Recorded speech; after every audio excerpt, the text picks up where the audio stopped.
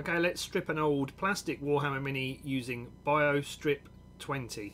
Uh, we're using this poor little old orc dude here. Seen better days. Time to remove the paint. Uh, I got this from Element Games. It's available direct from Fuse Products or Element. I think possibly Amazon as well. Uh, it's the best thing I found for stripping uh, plastic and metal minis. Be careful with resin. Don't leave it in as long. I try and avoid it on resin. Plastic and metal is the best thing I found to use it on. Uh, I'm using an old brush. Uh, quite a stiff bristled brush. It enables you to get it all in, uh, all over the model. So take your bio strip and work it in all over the model. Get it everywhere coated. I am wearing gloves. It's not toxic this stuff, but I would always wear gloves anyway to be on the safe side. Uh, just make sure everything is covered.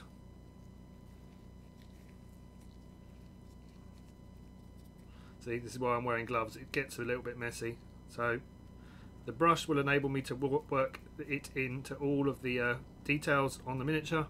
Make sure that it is everything is properly properly coated.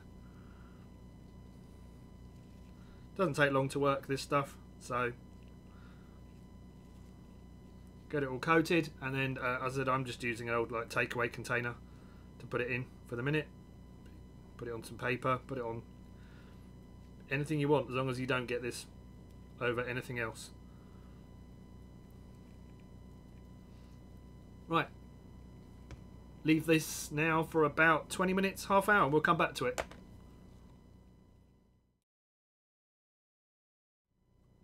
Okay, so it's been about 20, 25 minutes, something like that. I uh, have a bowl of some just some warmish water. You can do it in a sink under running water. I don't have running water out here, so we're just doing it uh, by hand. Uh, an old toothbrush, really, really handy to use to scrub this stuff off.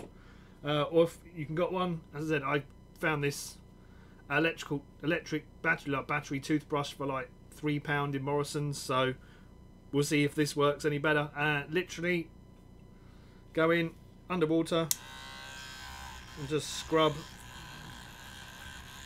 your strip the uh, the bio strip off.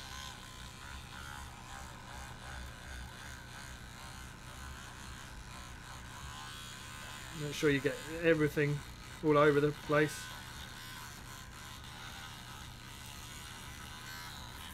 Take as much off as you can. It may, it may, for really sort of stubborn paint, may require two goes, but usually gets most of it off in one.